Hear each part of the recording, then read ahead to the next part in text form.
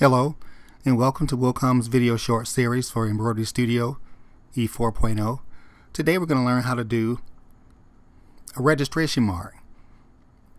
Sometimes when you're doing designs and you have a registration mark uh, that's uh, attached with the design, uh, you'll, you'll need to go in and do a trademark or registration mark. And so I'm going to show you how to actually insert one of those inside of a design. Uh, we have our design on the screen. All we're going to do is going to navigate over to the letter A here. It's going to bring up our lettering properties. I'm going to scroll up. In your lettering properties, you have uh, a tab. And that tab is called Insert Symbol here. And I'm just going to click on the arrow pointing to the left. It's going to bring up a list of symbols here. It'll have a list of all of the alphabet, both the Embroidery Studio satin stitch fonts and the Windows TrueType fonts here with all of the symbols in them as well. So we're going to go in.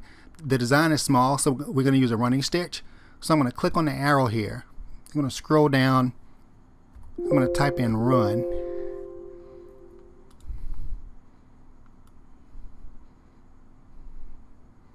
And what I'm looking for, I'm looking for the run run block font. Here it is. I'm going to select the run block. It's going to bring up the run block font and its symbols. And as I scroll down my list here, you'll see the characters, upper lowercase. I'm going to continue to scroll down and you'll see a list of symbols. Uh, the copyright here and also registration mark. So right now, I'm going to go in, I'm going to click on the R for the registration mark. It's going to place that here in the selection. I'm going to click OK. And just as just as I would if I were creating text on the screen, I'm going to create text. I'm going to go on the screen here. I'm going to do a left click at here. That's going to place my registration mark on the screen.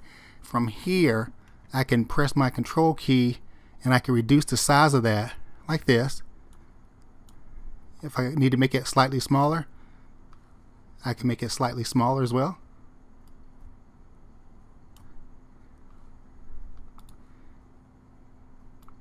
Let's shrink it up a little bit like this. So now we have a registration mark uh, here for our design. And what I'm going to show you also here is to be able to make sure that the stop and stop points um, start and stop in the center of the hoop actually. You see a little white crosshair here at the end. That's where the last stitch is actually. And that little white crosshair should be in the center of the design and it's not. Okay, how to fix that? I'm going to navigate up top to your, to your design drop menu and we're going to choose auto start and end. We're going to make sure that the apply auto start and end is selected and the maintain automatically. We're going to make sure also that the dot here should be in the center of the hoop is what this represents here. And I'm going to make sure I'm going to save this by clicking save and I'm going to overwrite the normal template so that it saves it the next time and I'm just going to click OK. Watch the white crosshair move from the last stitch here to the center as soon as I click OK. And here we are. Okay. To verify that that it do, that it's actually doing what it's supposed to do as well, I'm going to go up top here and I'm going to click on the stitch player. We're going to make sure and we can increase that. And again, this is just showing us exactly how the, the design is going to stitch on the machine. And we're just verifying that it goes back to the center also with the white crosshair.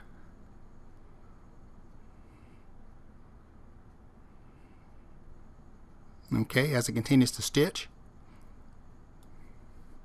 it's going to do the outline, and once it completes the outline, it should go back to the center of the hoop.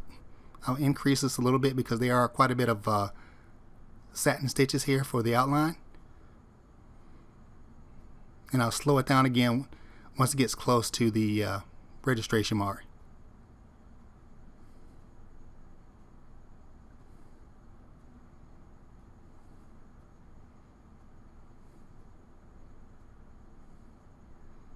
Almost done here. And there. There's our design. I'm going to press escape. Clear that off the screen.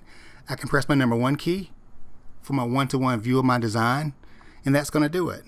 Thank you so much, and we ask that you join us at www.wilcomamerica.com. Thank you so much. Thanks for watching. We hope you found this video to be informative. Visit us at www.wilcomamerica.com for more product information and to join the Wilcom America community.